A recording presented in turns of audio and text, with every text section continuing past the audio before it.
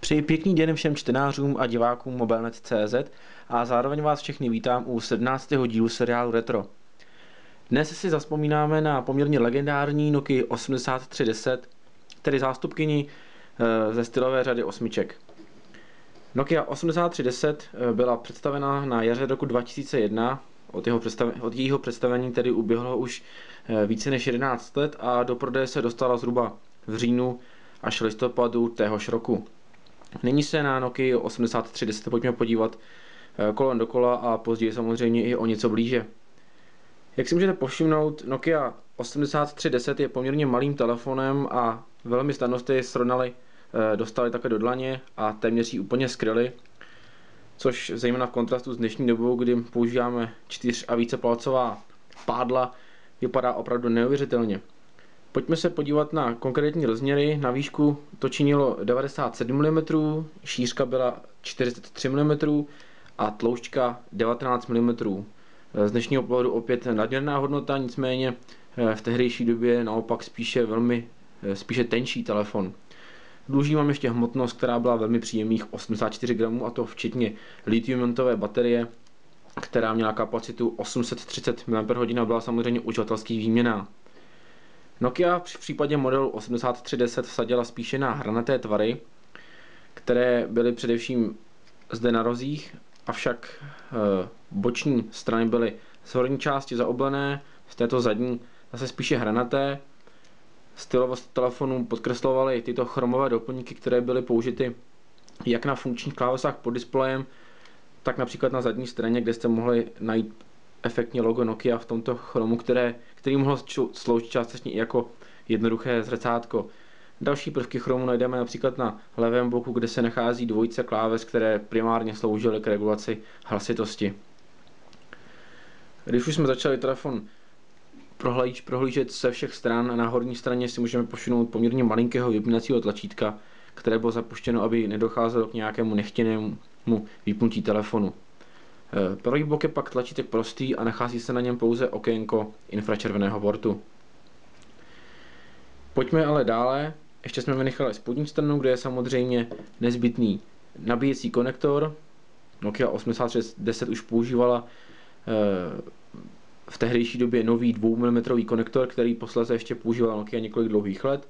A vedle samozřejmě nechybí ani eh, konektor pro sluchátka, Nokia 8310 samozřejmě podporovala i spojení s počítačem, nicméně to probíhalo výhradně přes infračervený port. Čelní strana je na tehdejší dobu poměrně klasická a stále i líbivá v dnešní době.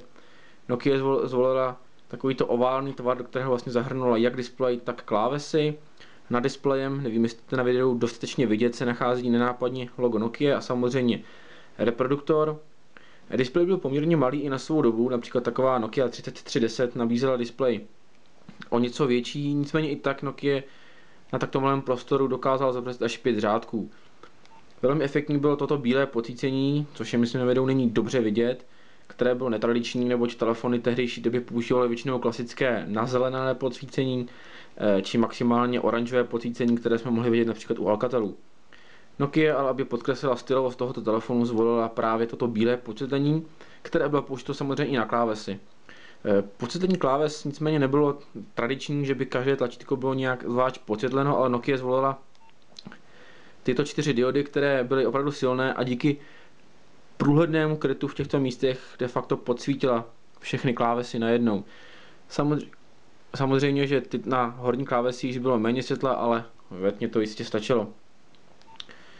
Pojďme se podívat na prostředí, to je poměrně klasické, jaké bylo u Nokia známo po dlouhá léta. Tento úvodní displej, samozřejmě operátor, v levém rohu případné ikonky zmeškaných událostí, nyní tady můžete vidět eh, nepřečtenou SMS zprávu, v pravém rohu informace o aktuálním čase, vertikálně jsou orientovány eh, informační statusy o signálu zde nalevo, o baterii napravo a samozřejmě kontextové klávesy, z nichž levá byla pevně nastavena na vstup domenu a pravá vás zavedla nyní jak je nastaveno do telefonního seznamu, který byl pojmenován jako jména, ale mohli jste si sem samozřejmě nastavit cokoliv, cokoliv dalšího. Ještě se tedy na chvilku vrátím ke klávesám, ty byly plastové a opravdu velmi dobře ovladatelné i přes svůj Eh, tvar, který zase podlehal designu svého telefonu, se mačkali opravdu dobře a psaní na telefonu tedy bylo pohodlné i přes jeho menší rozměry. Pojďme se podívat do prostředí.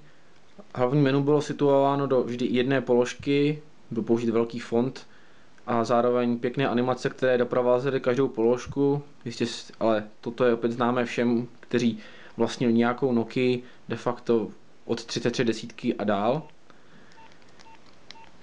Když si zastavíme u nějaké položky, můžu zmínit například hry, těch bylo, těch bylo celá čtyřice. Jistě si každý vzpomene například na eh, druhý díl Hada, ale velmi oblíbený byl také snowboarding, který v tehdejší době vypadal opravdu velmi dobře. A pokud si ho zkusíme spustit, tak můžete vidět, že hra byla opravdu propracovaná, mohli jste si zvolit vlastního avatara a pak už jste opravdu jeli. Někdo by mohl říct, že to byla takový předchůdce dnešních 3D her a mnozí by mohli dát za pravdu. Opravdu u této hry se dalo, vydrž- dalo vydržet dlouhé hodiny a ukrátila dlouhé chvíle. Nicméně pojďme dále. Hry jsme si tedy projeli. Infračervený pult jsem již tedy zmínil, který zde nechyběl. Samozřejmě jednoduché kancelářské funkce, jako byla kalkulačka, úkoly, nechyběl ani kalendář. Telefonem jste se také mohli připojit k internetu a využít vapového proužiče, který Nokia 8310 nechyběl. K dispozici byla jak paketová data GPRS ve třídě 4, tak ale v tehdejší době eh, ještě užitečnější a především rychlejší HSCSD. Specialitou Nokia 8310 a zároveň funkcí, která ještě v telefonech v tehdejší době nebyla nějak často výdaná, byla přítomnost FM rádia. Tehdy ještě bez RDS, ale to samozřejmě nikomu nechybělo, stačilo pouze připojit sluchátka a mohli jste z Nokia už poslouchat své oblíbené rádiové stanice. Jak si můžete povšimnout, rádio zde opravdu je, bohužel k telefonu nyní nemáme k dispozici sluchátka a nemůžeme si ho eh, tedy vyzkoušet a vidíte, sama Nokia nás tady laskavě vyzývá, ať připojíme headset nebo sluchátka. V položce další funkce ještě můžeme najít hlasový záznamník, hlasové příkazy, je tu měřič pro odpočítávání, stopky a to je vše. Ve službách už se samozřejmě nacházela vapový prohlížeč. A Nokia 8310, což je poslední 13. položka menu, si samozřejmě poradila také se svým toolkitem. Mohli se tady přes telefon například zpravovat svůj bankovní účet přes GSM Banking. S blížícím se závěrem dnešního retra eh, si můžeme také říci, kolik taková stylová Nokia konkrétně model 8310 v roce 2001, 2001 stál. Při vstupu do prodeje jste ji mohli u nás pořídit za zhruba 18 000 korun, což rozhodně nebylo málo. Nicméně pokud jste ji například používali rok, dva, tak jste se mohli být jistí, že Nokia až tak výrazně netratila na ceně. E, na trhu vydržela více než rok, například ještě v, ještě v červenci 2003 jste ji mohli najít v nabídce tehdejšího Eurotelu a prodával se za 11 000 korun. Za rok a půl, kdy se tedy nacházela aktivně v prodeji, eh, ztratila pouze 7 000 korun, což opravdu není mnoho. To si myslím, že eh, jako vzpomínka na Nokia 8310 z roku 2001 stačí eh, a já se s vámi loučím, děkuji vám za pozornost a těším se u 18. svým způsobem vánočního dílu Retra. Naschledanou.